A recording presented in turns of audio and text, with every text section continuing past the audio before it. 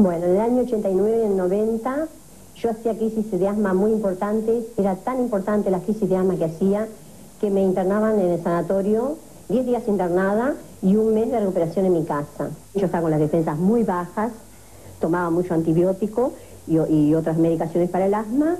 Y bueno, fue así que una persona un día me dijo que no, que no podía seguir más así. Tenés que tomar algo y me recomendó tomar Gebral. Y yo empecé a tomar Gebral y me recuperé.